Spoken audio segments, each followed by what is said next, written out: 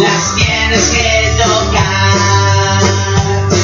El pelo, la cabeza, el cuello, la garganta, los hombros, los brazos, los dedos y las manos, la espalda, la barriga, la pierna, la rodilla, los pies,